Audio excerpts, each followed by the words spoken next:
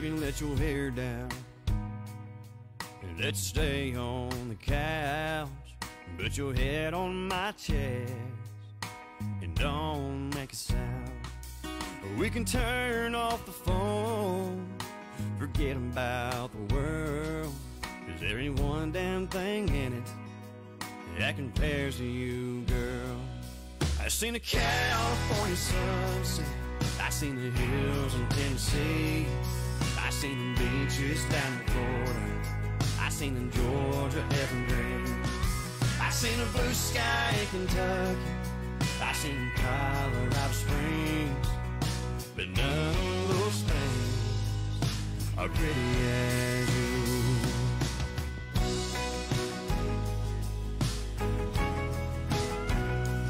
Girl, I can't stand it. Let's move this upstairs. Let me take these two hands and run through your hair. All these things I wanna do are running through my head. Leave your dress in the hall. If the sheets off the bed. I seen a California sunset. I seen the hills of Tennessee. I seen the beaches down in Florida. I seen Georgia evergreen. I seen a blue sky in Kentucky. I seen Colorado Springs. But none of those things are pretty as you know ain't, baby.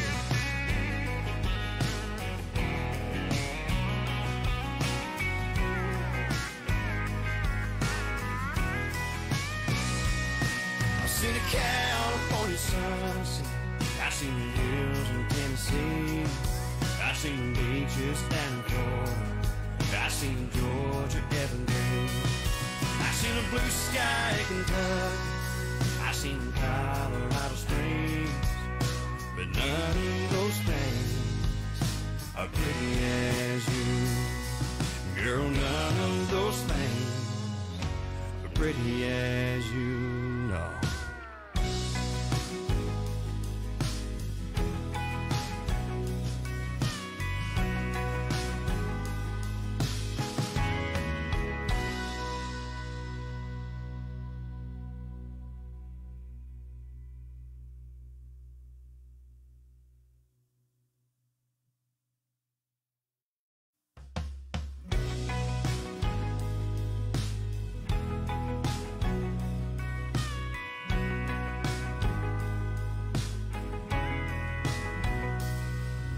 let your hair down. Let's stay on the couch. Put your head on my chest. And don't make a sound. We can turn off the phone. Forget about the world. Cause there ain't one damn thing in it that compares to you, girl. I seen a California sunset. I seen the hills in Tennessee. Seen beaches down in Florida. I seen in Georgia evergreen. I seen a blue sky in Kentucky. I seen Colorado Springs. But none of those things are pretty as you.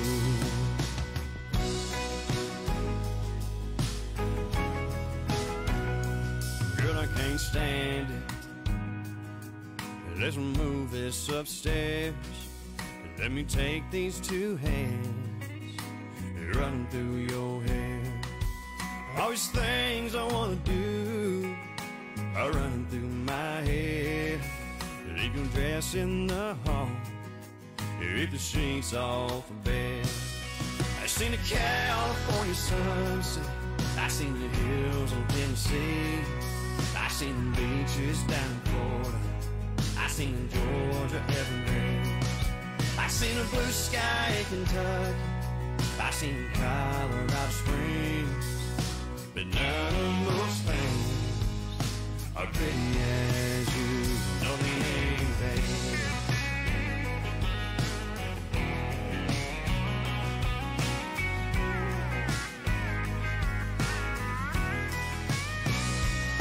I seen a California sunset.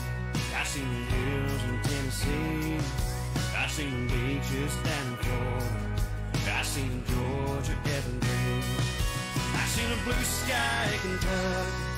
I seen Colorado Springs. But none of those things are pretty as you. Girl, none of those things are pretty as you.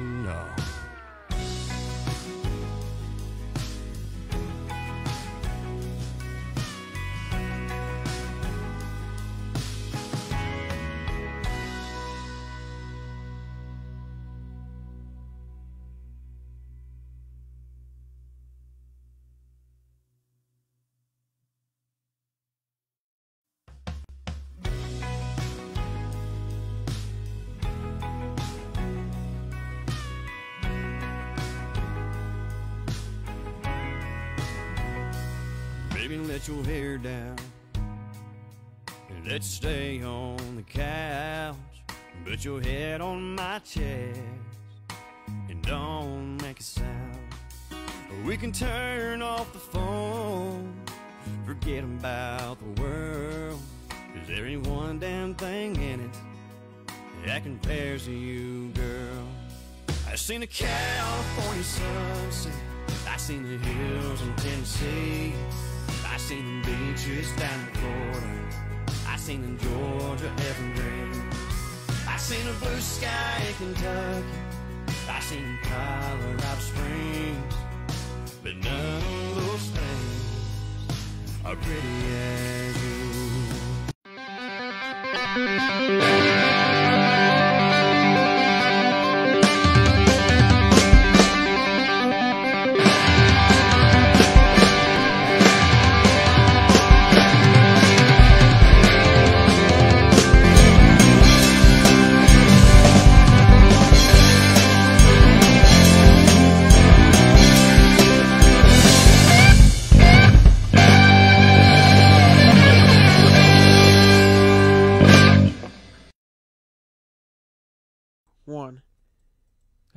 Everybody. Welcome to The Fret Job. The Fret Job is a show where we talk about the bones of the guitar world and talk about pretty much anything with strings. The Fret Job is broadcasted live from Frazzell Guitar at 228 Jane Trail, Danville, Kentucky, home of Kentucky's finest guitars and the Frazzell line of guitars. I'm going to hand it over to my co host, the luthier, professional luthier at Frazzell Guitars, and also the host of a new series that he's got going, a new series of videos, basically what I would consider shop talk. So uh, I'm going to hand it on over to Brandon Edwards. All right. What is up, everybody? This is Brandon Edwards. I'm your host here at the Fret Job, and I am uh, also uh, your host with the Frazzell Guitars, What's on the Bench, Shop Talk, and whatnot. This is my co host, Jonathan Recorder. He is a acclaimed real estate agent. He is one of the greatest musicians I know, a friend, and I'm proud to co-host this with him. So, next up on our agenda, we're going to be talking about the feature business of the week, and I'm going to be talking about Junction City, and I'm going to be talking about 127 Amish store. Whether it's a sandwich for lunch or soup, or it's all your kind of Amish needs, your your local stuff, go there. 127 Amish Market, located in Junction City, right off of 127, next to Dollar General. So, And uh, man, there's everybody be, is going down there and getting those sandwiches at I- lunchtime. I, I, do that a lot. So a lot of people do, man. just look at It's my gut when you come in, and you'll see how good it is. And another thing it's good for, if we decide we're going to make like BLTs, that's where we go. We go there to get the the bacon And and, they- the, and the tomatoes. They're good, man. they have one of the best potato soups, homemade potato soups there is. Yeah. All right. So, uh, what about this topic today? Oh yeah, for sure. Uh, so so this topic is uh, is great, but uh, before this topic gets on here, um, well, actually, I'll save that for later. We're gonna Okay. we'll just we'll just uh, dive into the uh, dive into the topic here. Yeah, today's topic is basically about you know, when do you quit getting? When do you stop getting what you pay for in guitars? What's the relationship to price and quality, and how does brand play into that? So uh, that's kind of what we came up with for the week, and you can talk a lot about this. Um, there is a point I feel like when you stop getting what you pay for and you start paying for for brand name, but it depends on what you're trying to achieve. If you're buying from a collector's point of view or if you're buying from a player's point of view. Yeah, for sure. So uh, uh, we're talking about that. So one thing there before we go on with uh, with with the topic here, I want to put on the screen here for everybody to see.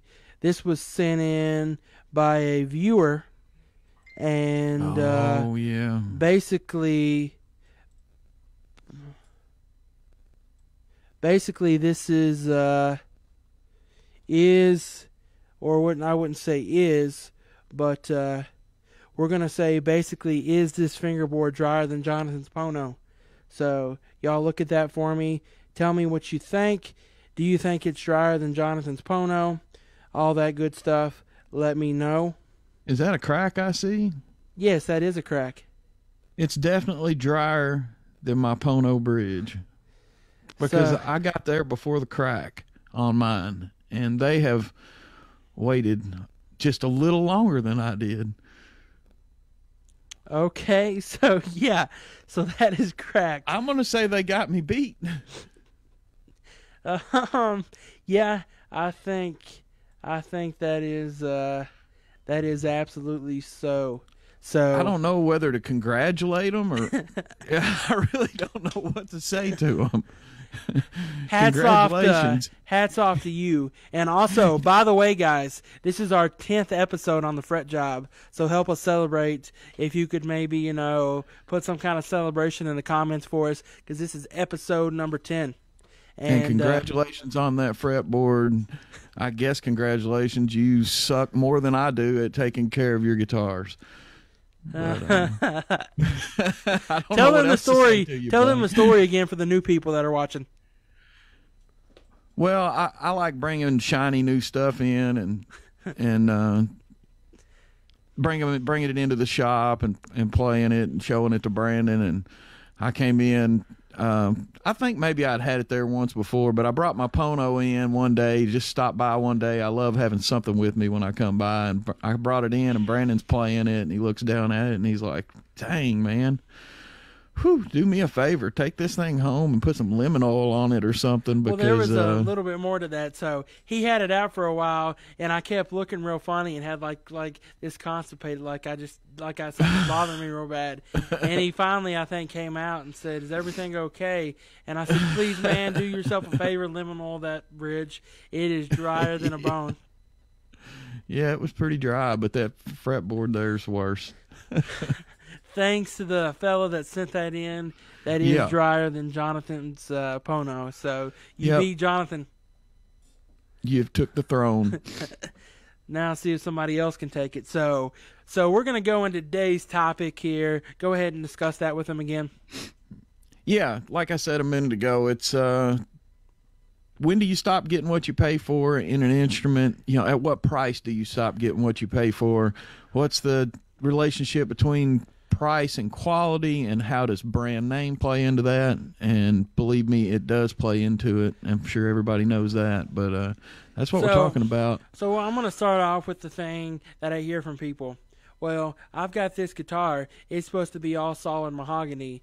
it's just like a Les Paul, or just like da da da da. There is different grades of wood. So there is different grades of wood, and a lot of times you'll find your guitars. Oh, it's all this solid wood. Oh, it's all this wood, and it's like a three hundred dollar guitar. Well, the grade of the wood's probably really low and crappy.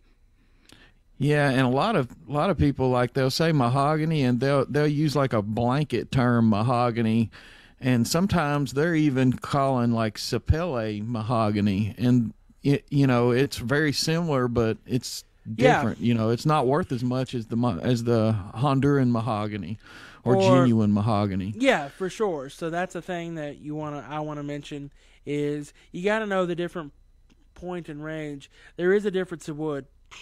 and there is higher grade wood than others. Like there's mm-hmm. grades of wood like 3A, like 4A. There's grades of higher wood which make it better quality. People think it's all the same, but it's not. Wood is not just wood.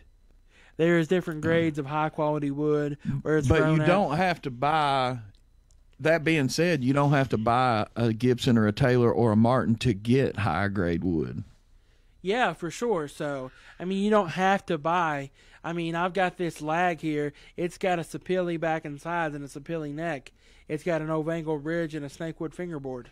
And I mean, this guitar here is solid as it gets, and it's all solid wood and it's great quality. I mean, and it's got an Engelmann spruce top. You can find solid guitars out there. That's not a problem. Yeah. And I suggest you do. I mean, I, I suggest you try if you can afford to get into the to the solid wood realm. I think any solid wood guitar is going to be better than a laminate. You know, Yeah, for sure. I mean, um, even your even your run of the mill entry grade solid wood guitars are still probably going to sound better and age better than than a laminate And guitar. you guys comment too in the comment section here on Facebook. We want to hear your input too. So please give your guys' input. We thrive off of your guys' input. We like to hear what you guys have to say. So you guys comment and let me know what you guys have to say, you guitar players out there. What are your thoughts? I mean, here's the deal. You got quality that does play a big difference in guitars. Obviously, quality pays a great difference in guitars and and name brand you could you could find a guitar out there and there is i'll give a great example who's a great quality guitar but the brand blue ridge yeah. blue ridge has got great quality but like you said the name it's not a yeah, well it's known it's depends on what you're. It's becoming more well known in the bluegrass world. It is very well known name. You know, there's a lot of bluegrassers that play Blue Ridge. I've been to Leslie County. My wife's got family out there, and now that's kind of bluegrass country uh, in eastern Kentucky. And uh, when I was out there, every time I was out there, at least somebody said something about a Blue Ridge guitar or pulled one out and played it. So it is big in the bluegrass industry, uh, but they are high quality and and you can buy them for about half of what you would buy a comparable model of Martin yeah for. for sure.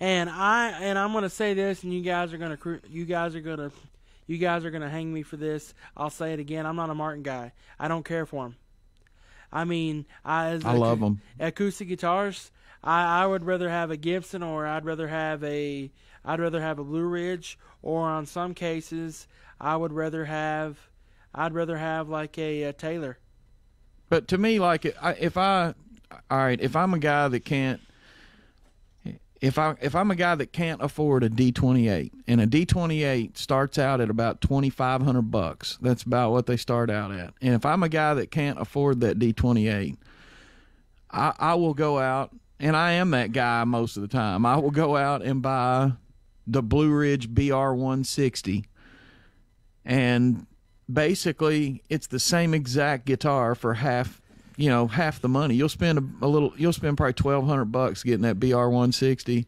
okay here's it's half the money you it's just as good of a guitar i don't think the blue ridge is better than the martin but i don't think the martin is twice as good as the blue ridge I think they're both equal. I think the Blue I Ridge compares with it. I think that the Blue Ridge competes with the Martin in every way, shape, and form. I think Martin ain't what it used to be anymore.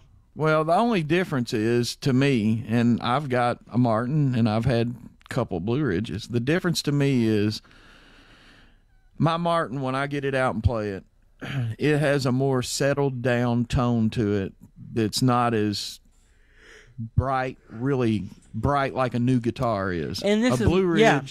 sounds like a new guitar. And a martin their spruce is older so it's a little more settled down And you guys can laugh at me for this all day, every day. I don't care. You can say, but when I look, it's like oh, always playing a Martin on stage.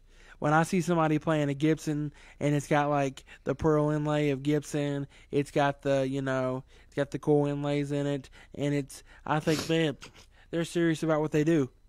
You know? yeah but i mean if you're playing a d45 Well, yeah, D45 is a different story. Come on now. Yeah, well, it's a Martin. Hey, uh, yeah. So does Blue Ridge have a D45 copy? Yeah, I had one. You sold it for Well, me. Yeah, but no, pre- was that a D? It was a pre-war. It was a pre-war D45 copy. BR 180. But it didn't. Did it have the inlays like a like a uh, D forty It had the inlays of a pre-war D45. The snowflakes in the fingerboard is the pre-war configuration. Do they have one that has the one that like the current D forty five? like the hexagons? Yes, like the geometry Uh, hexagons. I'm not sure if they. I, they. I think they might. But anyway, yeah, they they make copies of about every Martin. Now they make copies of about every Gibson too. Now they make a J45 copy. My father-in-law had one. Slope shoulder. It was a rosewood slope shouldered J45. Will you send me that? I want to see that. I'm curious. Not right now, maybe, but yeah, know, sure. Yeah. Send me that because I'm was really, nice. You got you got my gear turning. Send me some of the the Gibson copies. You got my gears turning. You- You're going to really like them. Yeah, yeah, because I may have to get one to try it. Try it on a Blue Ridge video. makes them, and Eastman makes them too now. They make them too. Well, I don't care about Eastman. Yeah. I mean, no offense, I like Blue Ridge just as about as good. If I if I'd rather have a no offense, if I'd rather have a copy, I'd rather have a Blue Ridge copy than an Eastman. Yeah, I don't know about that. I've had them both. I mean, when I think of good quality copies, I think of Blue Ridge right away. I don't ever come to my mind when I think of Eastman. I That's think, because you don't know Eastman as well. I know Eastman, mandolins and guitars, I played a thousand of them. Yeah, and they make all solid wood. Yeah, high I mean they make great guitars, but It's a just, cleaner build than a Blue Ridge. I just don't. I mean, I think their guitars are great. Do not get me wrong. I love them. and they they actually had the gumption to put a nitro finish on it. Oh, does Blue Ridge not do nitro? No, they do poly. Well, I mean, if they do, they I don't mind poly. But they do I nitro, I like it. But it's as far as like as far as copies go, to me, I think of a blue. I think of a Blue Ridge when I think of a good quality copy. I don't think of Eastman for copy guitars. I think of Eastman as their own separate guitar company that does their own separate things. I don't. When someone says, "Oh, Eastman copy," But really, at the end of the day, they're they're still copies. yeah, everyone is. Because I mean, they all came from Martin, they all came from Gibson, all Yeah, came from those staple companies, uh, and, and that whatnot. gets that that works into the topic there because you know you, you're paying basically in if, what we're talking about the Blue Ridge. You say the BR 160, say it's around 1200 bucks. We've saw them for that, and then you got 2400 bucks for the D28. What are you paying for the brand? You're paying 1200 bucks for that brand. Yeah, that's what you're paying. Let me tell you something about, and, and I'm going to throw this out there. Fender's a good good contestant for this. We're going to start talking about electrics. I'll go into Gibson Yeah. here in a minute. So there's there's companies out there that make that make for the lesser price identical everything to a Stratocaster. That yeah, I had one as a kid made by Harmony, and it was just Well, yeah. like a Strat. Well, I'm not meaning those. I mean J.C. like Penney. yeah. I'm not really meaning the harmonies. I'm meaning like Yeah. actual good quality like copies that like have good pickups in it, good Oh, electronics. yeah. Like Tons of them. there's a company that makes that makes Stratocaster copies. They sell them for like eight seventy five, or they sell them for like eight fifty, eight fifty for a Stratocaster co- Strat copy made in the USA, all the same stuff, and it's like it's just great. I mean, yes, you can get a Strat for about a thousand USA Strat, but honestly, I mean, to get a, A new brand one, new one's you'll spend over a grand, won't you? yeah. I mean, the thing is, is like here's here's the thing with like Gibson too. Gibsons are expensive. Yes, they're worth it for the name, but you're paying for the name when you pay for Gibson. Yeah, if you're buying it for collectability, and the funny thing is, a lot of these Asian guitars and cheaper made or cheaper priced guitars that are not the big name brand, a lot of them later on become become very collectible too, and Give me one because they here. hit the nail on the head with Hold quality. on one second here. Frazzell Guitars, Brandon speaking.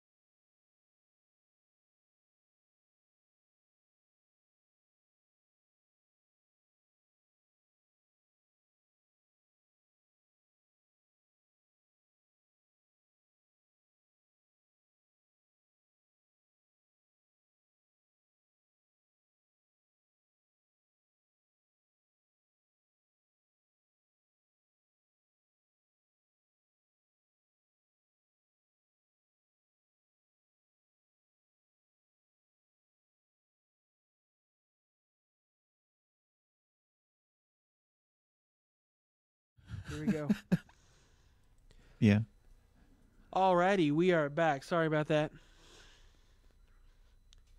So if everybody can. So we were talking about electrics. You had ju- we had just gotten into you. You talked about that company that makes the Strat copies for Yeah. around eight fifty. And then let's talk about like Gibson. I mean, yes, I love Gibson guitars, but you are also paying for a name on the guitar.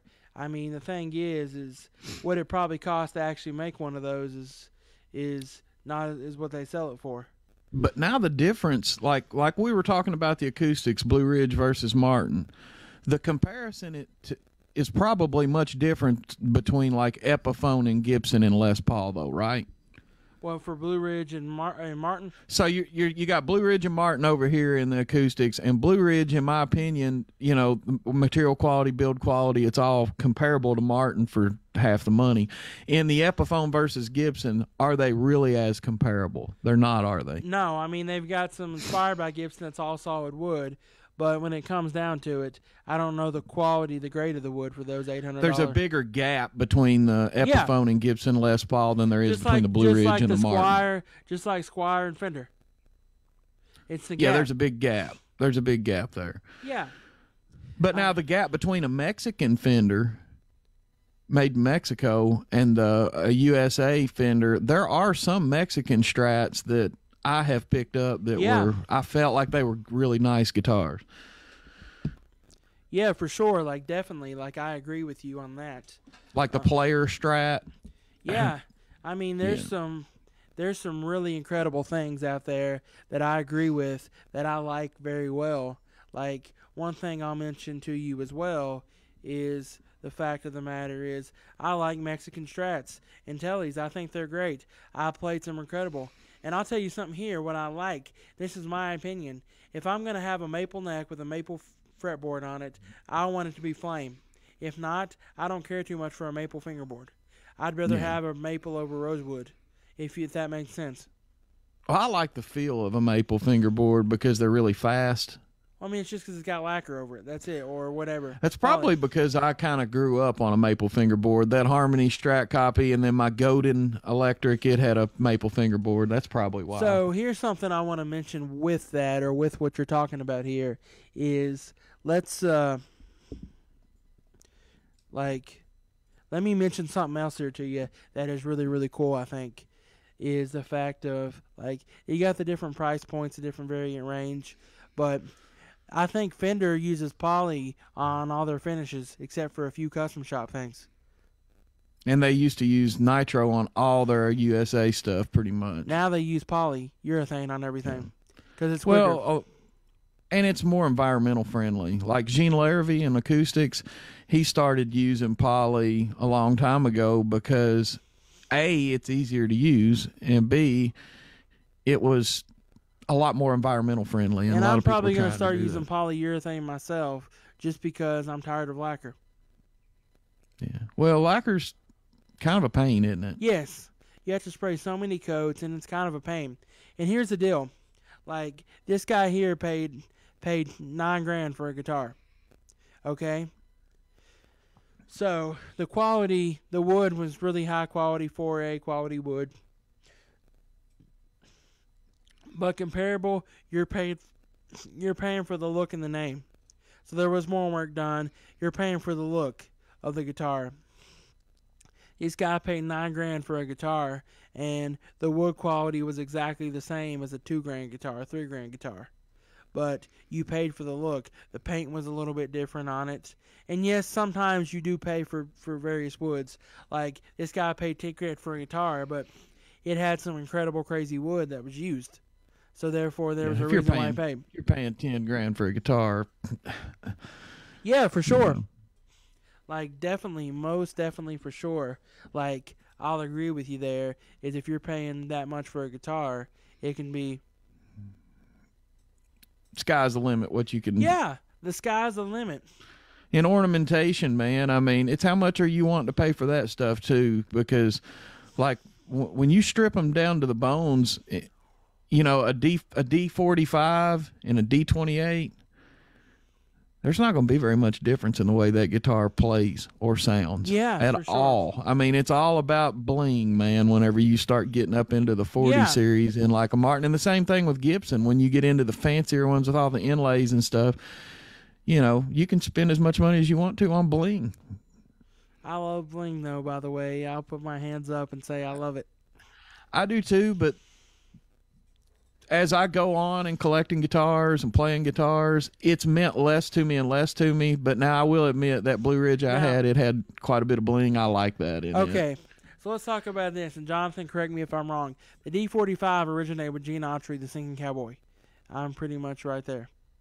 Is he kind of invented that? They made it for him, and then they kind of continue making it because people wanted one like his. I think the story may go that way. I was a little more familiar with that story, but I yeah, think somebody think that knows a little bit more, you can correct us on Facebook, YouTube, whatever. But that's what I'm thinking is Gene Autry, the singing cowboy. You gonna look it up real quick?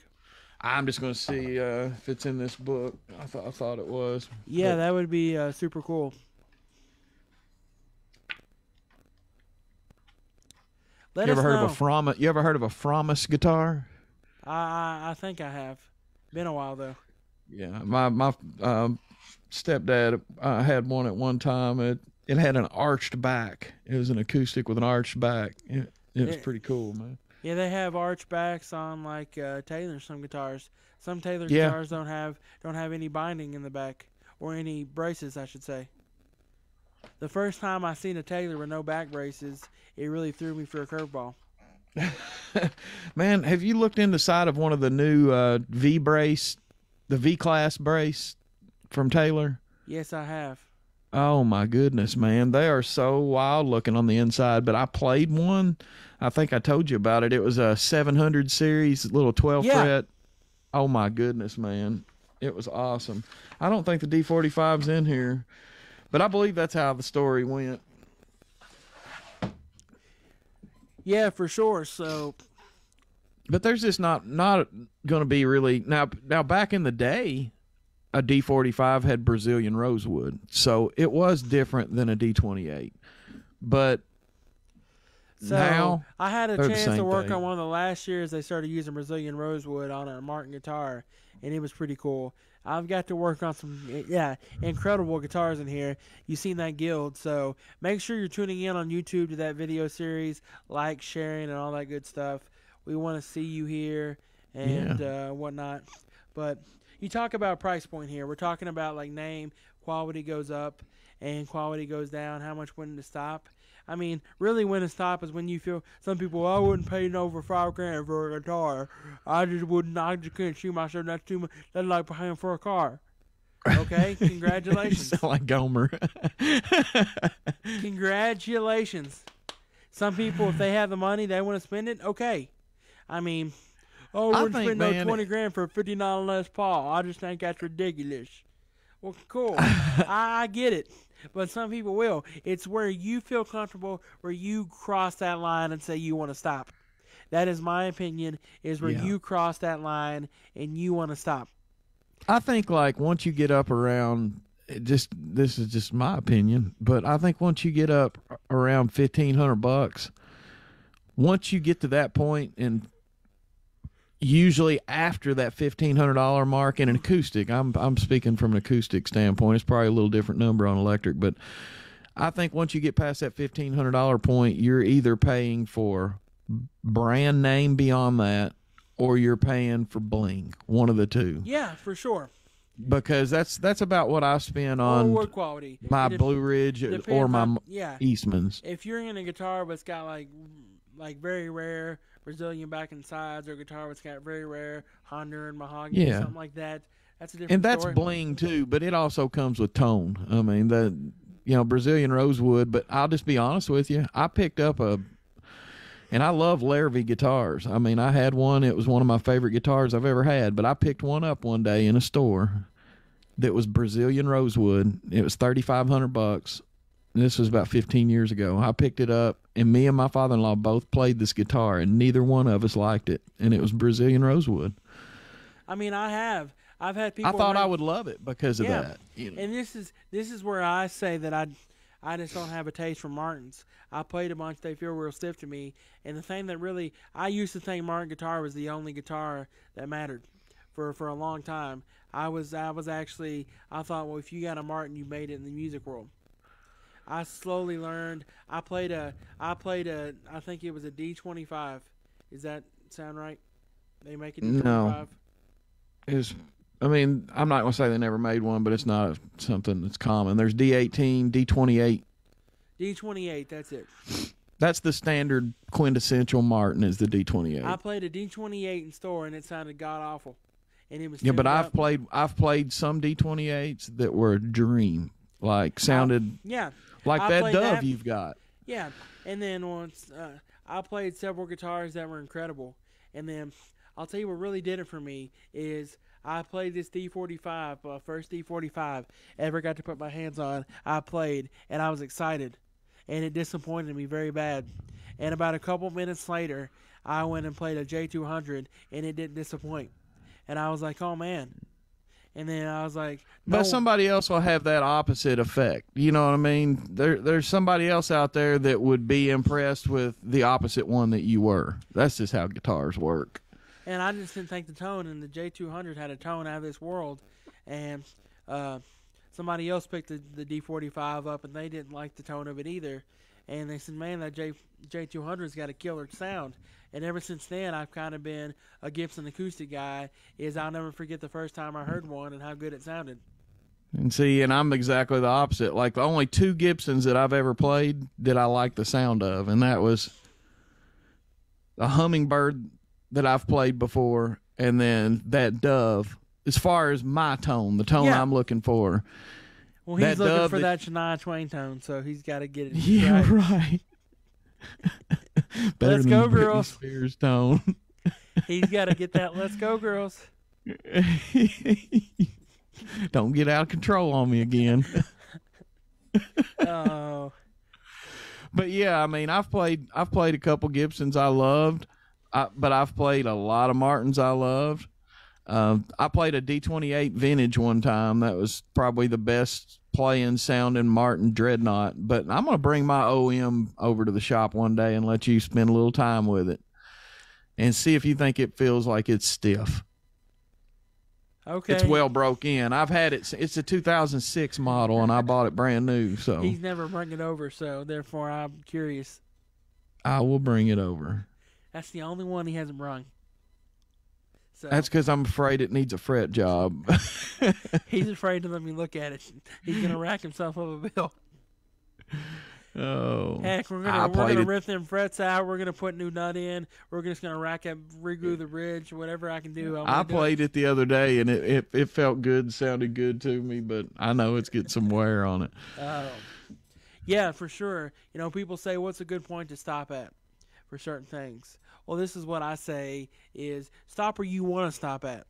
Don't stop because somebody else tells you to. Stop where you want to. You make your own decision. Yeah, it's your bucket list. It's your bucket list.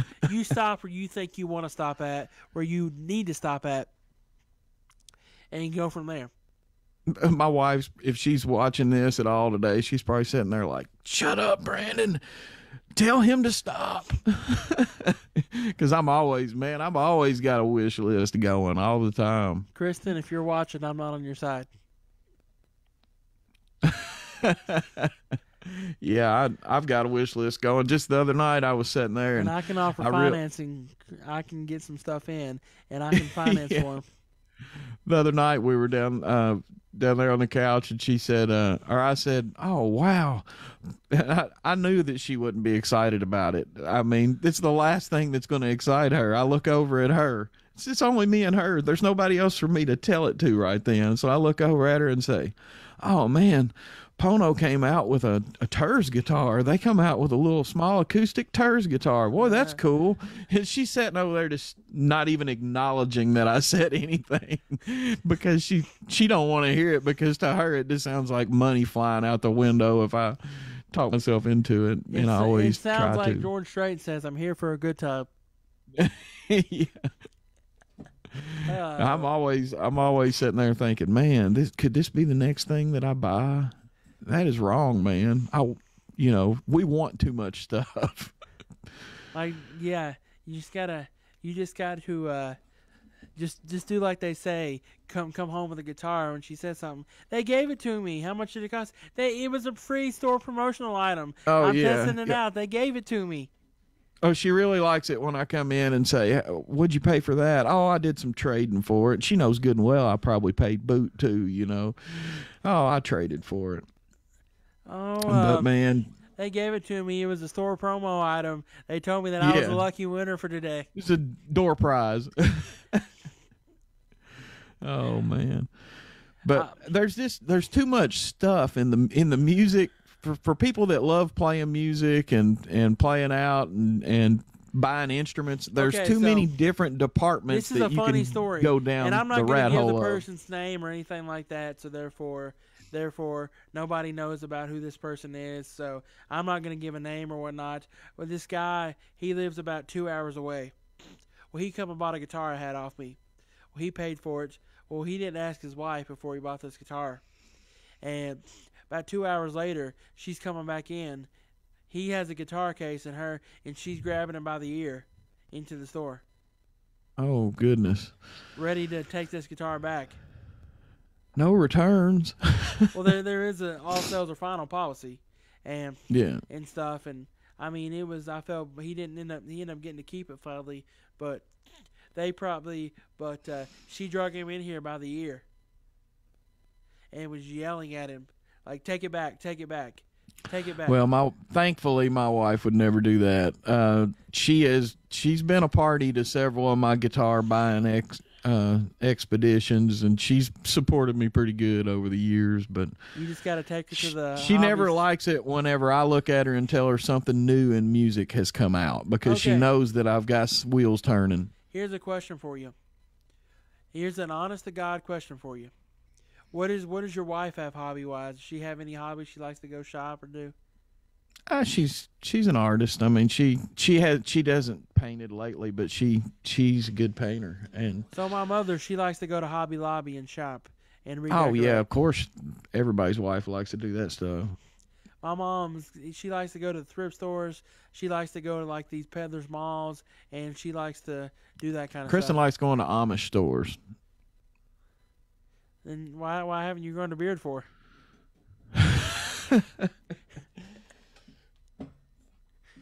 no, I'm kidding. I totally caught him off guard with that one.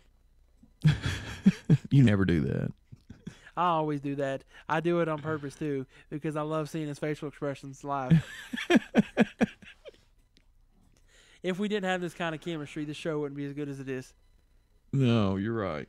But, but um, speaking of, you know, where you stop in quality of wood, I had a guy one time. He bought this. Uh, actually, tell your story about the. Uh, don't give the name, but tell your story about the uh, about the first act. I think that's an Oh, interesting story yeah. to tell. Yeah, yeah. So, uh, so this guy I know, uh, he may be watching. He'll know if I'm talking about him. But this guy I know, he, uh, and I'm talking about a guy that's played guitar for years and had really nice guitars and knows quite a bit about guitars. Uh, it's. I was even fooled for for a few minutes, and he knew more than I did at the time. But I was fooled too. But anyway, years ago they had bought a guitar off of this guy and it was just a it was a Yairi guitar that had been repaired and the guy halfway repaired it but he claimed to be a luthier and he claimed that he built guitars. And maybe he did at some point in time but years later probably 10 years after the Yairi purchase this same guy bumped into him again and he had a guitar that he claimed he built. And so he bought it. And i'm not a hundred percent but i think he paid four or five hundred bucks for the guitar because it was a custom built guitar. I mean and he knew the guy and it was you know kentucky built. You know he thought that was cool and it it played decent and it did so he brought it home and he thought well i'll do a little setup work on it and jam it for a while and see how it is but we get to looking at it and, and I think maybe maybe it was just one side of the bridge had this familiar look to it. I'm like, man, I've seen that shape right there on that bridge. Guys, it ended up being a first act guitar that this dude had debranded, took everything off of, put his name in. I mean, he it was a total all out scam, man. It can happen. Yes. And it was a laminate and it was a laminate guitar. I mean, And I'll I'll go back to stories. I'll go back how quick people rip people off. Is there's guys that will take Squiers. There's guys around here in my local area that will take Squier guitars and they will make them into Fender guitars, and they'll prey upon people and sell them. And it's not the fact that they're doing it to make money. They have money to begin with. They have an extensive guitar collection or something like that, but they have been caught doing it. And one of these guys, I won't give a name, fella in general, about four months back, he came in with one. And which you coming in the wrong store for that. You think I ain't gonna be able to tell Yeah. and whatnot. Well, he came in. Well, one thing I noticed when I looked at it is a something didn't look right, and I could automatically tell. Well, the first thing I could tell was the body was the body was polyester, not polyurethane. That was the first dead giveaway. Is you can tell the difference between ester and urethane. I mean, it's just a dead giveaway. So I'm looking at it, going through blah blah blah blah, all that good stuff, and I'm looking at it. Well, the first thing I notice is the serial number don't look right. It looks decent, but it don't look right. What gave it away is the logo was in a great spot, but you could very faintly, faintly, faintly see, and he didn't like it. But I pulled out a pair of monoc- goggles that zoom, and you could faintly see the Squier logo behind it on the neck. Oh, and whatnot. Wow. And I noticed that, and I called him out. I said, "Hey," and uh, so I took pictures of it and whatnot, and uh, I I just wanted to, uh, you know, I, I sent it to a few buddies, reminded them not to buy it and whatnot, and um, That's crazy, man. I think I went into the uh, two pawn shops locally and I showed them. Straight I- up scam. I just showed him. I'm like, hey, and this guy here, like, he's good money, lives in a lives in a mansion of a house here in town. I mean, he's not like he's, but yeah, he was coming in doing that. And reason it reminded me is I had a guy, a, a young boy, coming here the other day, and he said that he almost got scammed by by the same guy. Got to watch And your back, friend. man. And he said There's he was people almost out there that yeah. are willing to prey on somebody And he said always. he come. He said he come very close to buying this guitar, and he said that uh, Chili chill something in his gut said don't. Then he Man, pick it out- up and play it, and and you can feel quality. I mean, that Squier neck. There's no way that Squier neck felt like a USA neck. I mean, Yeah, but this guy here was saying it was like a USA guitar. He claimed it was a genuine USA Fender. yeah, So people out there, it will- couldn't couldn't feel like one if it's a Squier Yeah, though. I mean, he was definitely trying to hard pass it off. It just- yeah, and whatnot. And he was so. I mean, he was uh he was definitely trying really really hard. And I mean, he refinished the neck and everything. He went too far with this, but there were just a lot of dead giveaways. But people like that upset me that try that kind of stuff. yeah. There's there's too many good reputable places to go guitar shopping to let somebody like that get one over on you, man. Yeah, you know just go somewhere go somewhere where the people you know go and you know somebody that find somebody that you trust and and Come- deal yeah. with them I mean, come see me. I try to take care of people. That's and I'm- right. and I'm fair and honest with my prices and whatnot. And, uh, definitely not going to try to push off some kind of fake guitar off on somebody Well, not that. I'm also honest with my prices and what I sell things for. So Yeah. I try to have things at a good sellable price. You know, you know. I think the market right now, which drives me insane, is like, is like, is sell. Like I don't understand this, and you can explain this. And this is between my little rant, Ray, for the day. Is how can somebody like, let's say somebody buys this this Indonesian guitar off of me, or this nice guitar off of me for four hundred seventy-five dollars. That's what it's going for retail used. And then the next day you get on marketplace and they have the same guitar they bought off of you for for about four hundred dollars more. How how how does that work? Like I don't understand. Like they buy it off of you. You had it listed on marketplace. They come in your store. It sells for on Reverb, eBay for about four seventy five all day long. And then the next day, Are people paying these double prices? and then the next day, it's like they get on marketplace and they put the same guitar and they double the price on it. Like absolutely. But does it sell? I don't know.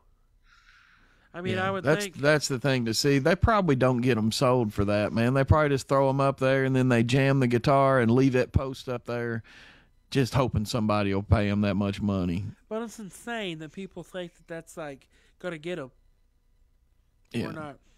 Like it's it's insane. Like, I don't have the patience to sell stuff on there. That's why when I decided I wanted to part with that Blue Ridge, I brought it to you because Yeah. I just don't have I don't have the patience. I And- bet you a million people start dinging you whenever you put something on there. You do sometimes, and the people want to trade you, and they want to Yeah. trade like like if you have a USA guitar, they want to trade you like two or three Chinese pieces for a USA piece. Yeah. yeah. Like no offense, it's it's don't make sense to me to trade Chinese for USA. Well, if you're wanting to trade, don't. I mean, in my opinion, it's hard to trade with a music store person. You know, somebody that owns a music store because they can't put in that guitar what you need out of it. You know, they just can't. Like, like you're running a business there, you can't put. Like, I'll give you an example. When I bought my first acoustic, my Martin, uh, I bought it, and then right after I bought it, I bought it at a at a store in Somerset uh, that's not there anymore. After I bought it, they got a shipment of Taylors in, and I went in and I had I had bought the OM maple spruce top maple back and sides OM cutaway.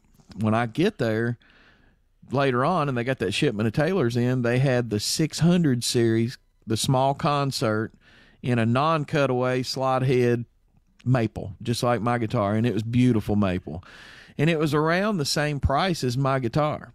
I gave two grand for my guitar. When I went back in there 30 days later to try to trade it in on that Taylor, you know what? The same store offered me for it.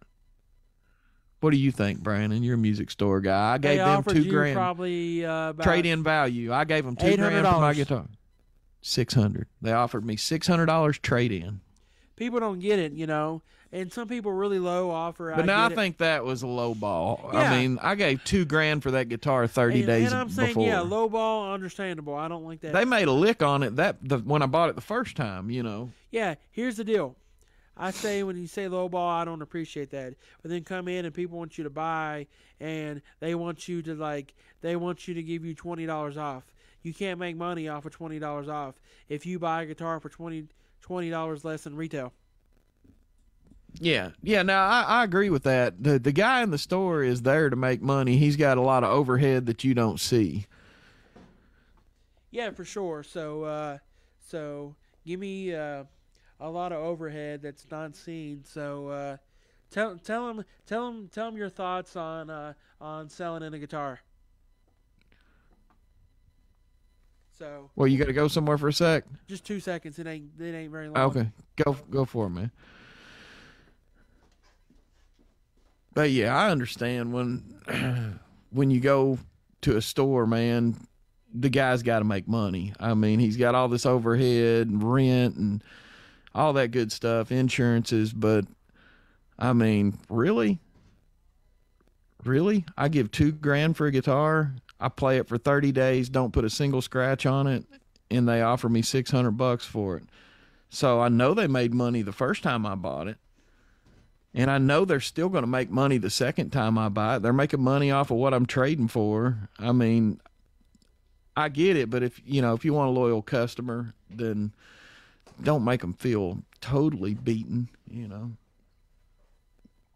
But um it's crazy. It's crazy. It's just kind of like buying a new car. You know, you drive a new car off the lot and it loses X amount of its value. And I guess that's the same way it was with that Martin guitar I bought. Sorry, the mailman pulled up and he was delivering a, a package. So No.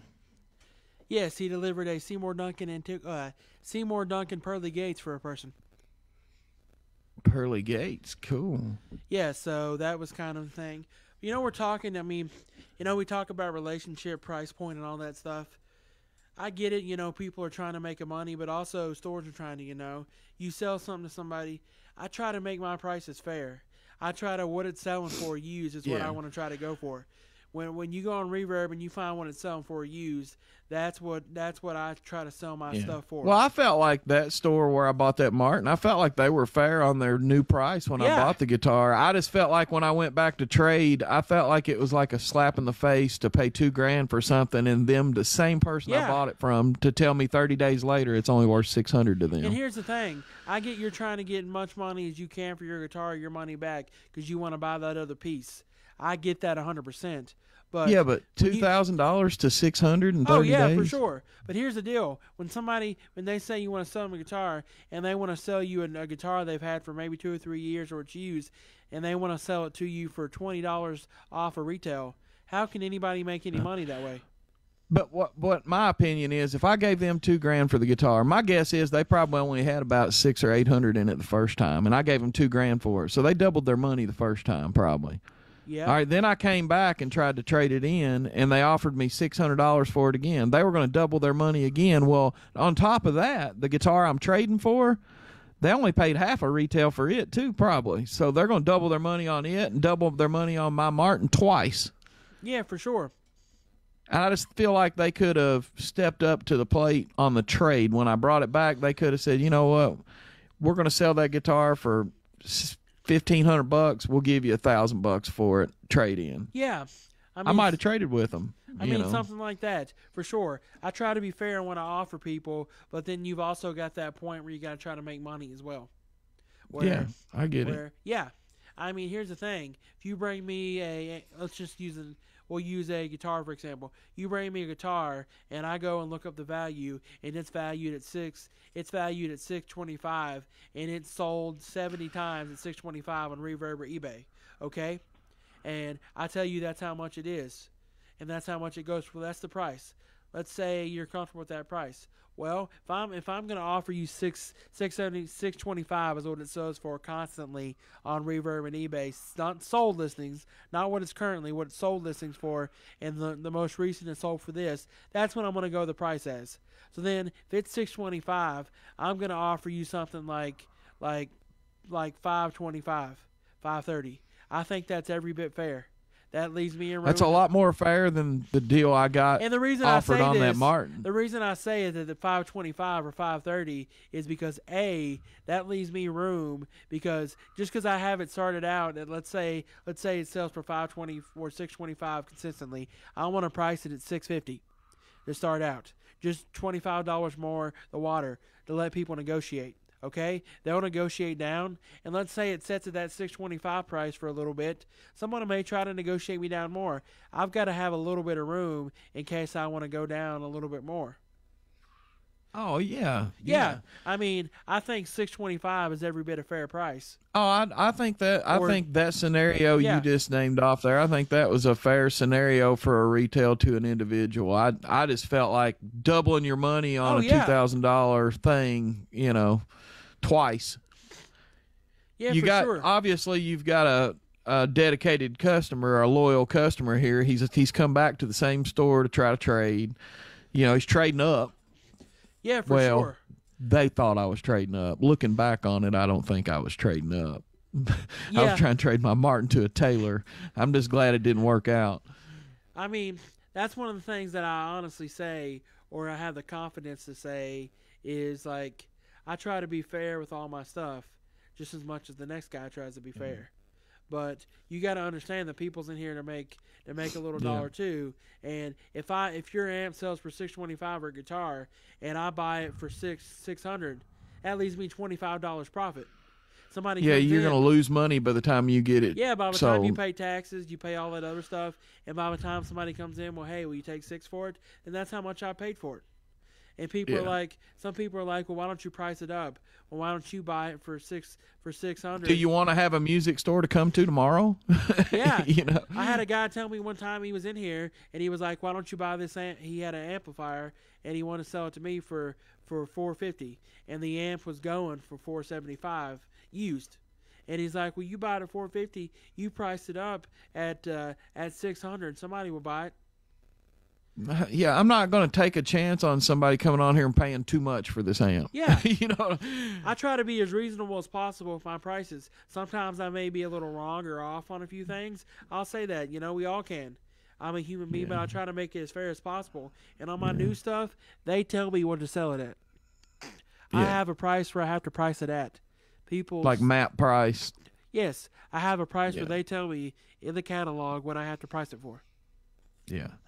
Yeah, it's uh I mean, a- and back to the topic, you you do get what you pay for. Yeah. I mean, and I swear, and sometimes even in the store that you go to, like like for instance, say you're a few dollars different than Joe Schmo up here the big box store. And, and the little guy, a lot of times the little guy with the smaller store has to be a few dollars different than the big box store. There's just no option And there. here's the reason I'll say that. Let But what do uh, you get? What do you get from you though that you Okay, don't get from the big box store? You go to these big box stores and look at these guitars and buy it.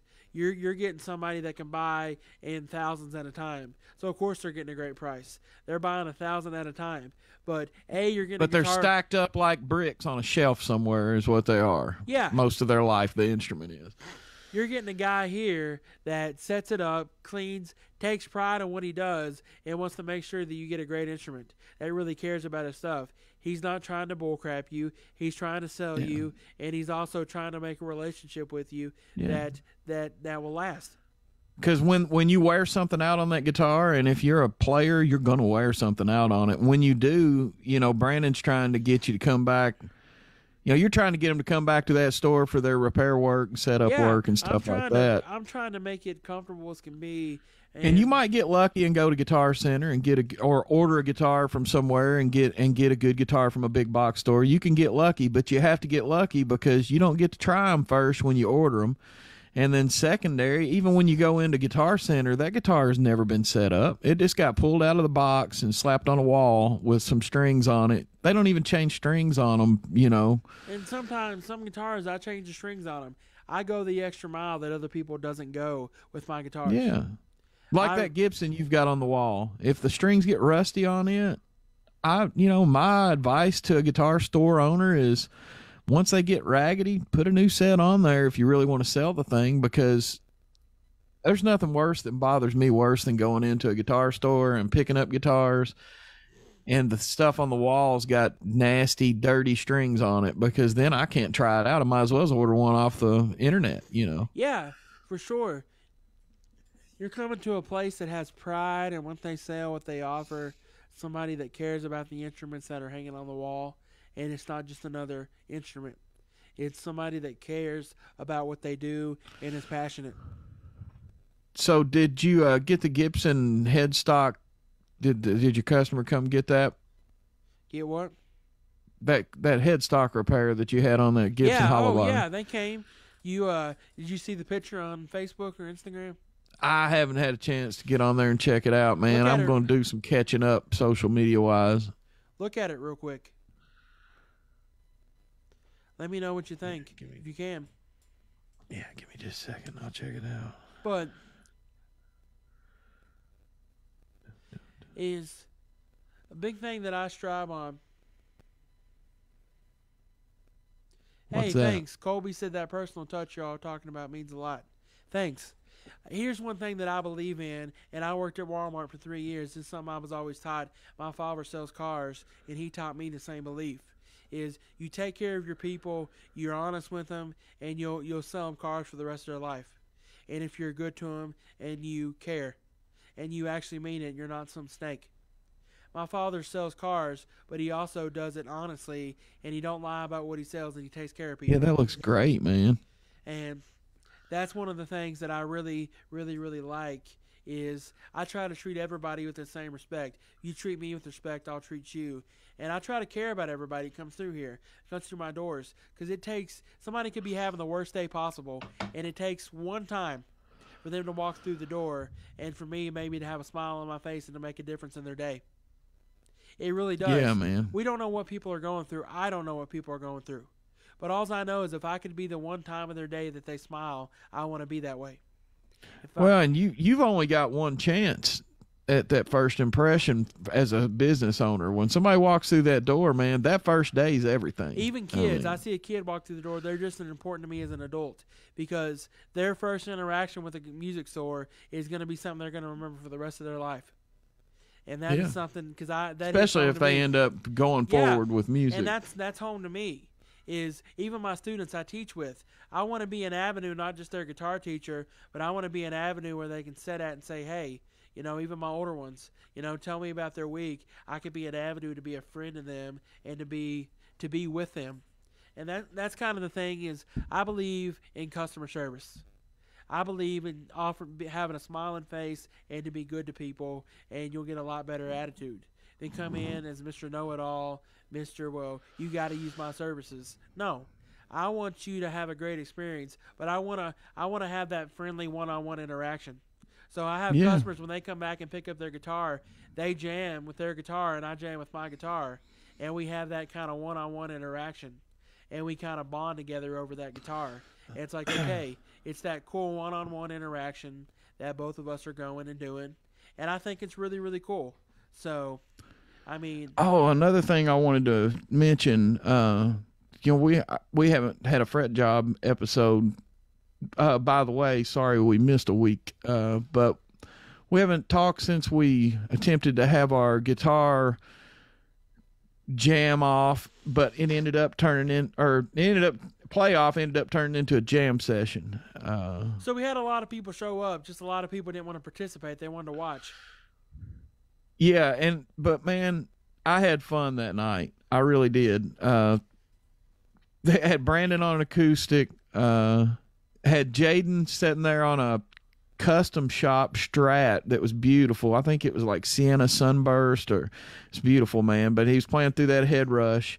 Had uh a guy, and I don't know everybody's name, had a guy on a Les Paul, a vintage Les Paul His playing. Aaron.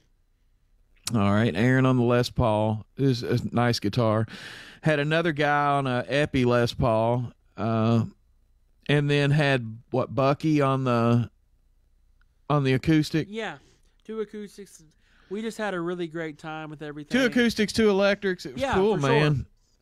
And let me tell you, down deep in my heart, each and every one of you have a special place in there. All my customers, even if you watch from afar, you have a special place in my heart. Whether you watch on the YouTube channel, whether you watch on here, each and every one of you have a special place in the Frazzell family.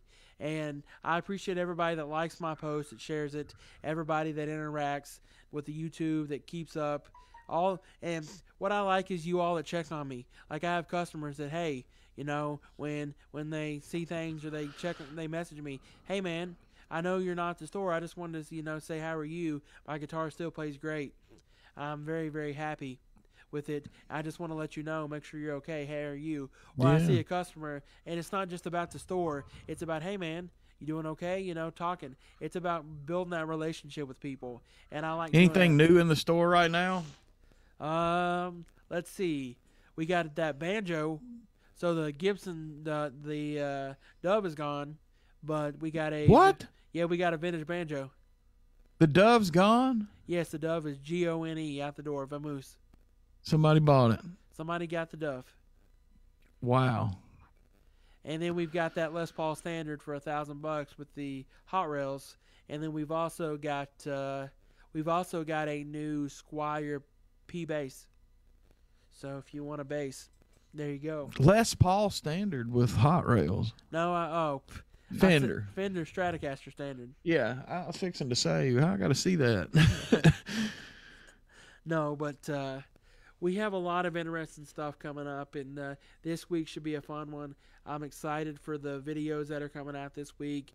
So make sure you share the videos with your friends, your family. Tell everybody to support the YouTube channel, the business, the fret job. We love when you interact and comment with us. We love when you watch, you tell us. Even if you're watching on YouTube, comment, tell us what you think. We want to hear from you. We want to see your interactions, Jonathan's interaction we want to be we want to be your your neighborhood your neighborhood guitar place your place to come wind down relax and to watch all and uh, all you all have a special place right here and i'm sure with jonathan too Absolutely, man. and uh, we are proud of uh, 10 episodes here and we hope to look for another 10 more and another 10 more after that you know Why, yeah, we're gonna keep on rolling, man. We're gonna keep, keep on, on- rolling. yeah and you guys can help us grow and make this oh colby yeah thank uh yeah thanks jonathan correcting me colby said he was about to get in his car and come here for that les paul yeah, that's what I was thinking, man. I I, I want to see that. yeah so uh so your antiquity came in colby or not antiquity your uh your uh pearly gates is sitting on my bench over there so hey thanks dave. Uh congratulations. He put congrats on 10 yeah we've really worked hard to make this. And all y'all if you ever need anybody for music producing or anything like that or you need somebody to help with that dave strumfield is probably one of the best strumfeld is probably one of the best in the industry. Uh, probably one of the best in the industry, in my opinion, for music producing, recording, for songwriting, all that stuff. He is just an incredibly talented guy. So if you ever need anything, make sure you hit up Dave because he will take care of you for an affordable. He he is he is great on everything he does. He doesn't break the bank, but he also he also you get great quality. So if you ever need any music produced or anything, hit Dave up. Dave is probably, in my opinion, one of the best there probably is.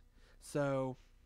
So, I mean, if I was going to record another song tomorrow, Dave would be the first man I called because he honestly he honestly has Nashville talent, and I don't understand why this dude ain't in some studio at RCA or some big studio working because he has talent more than anybody I've seen in Nashville.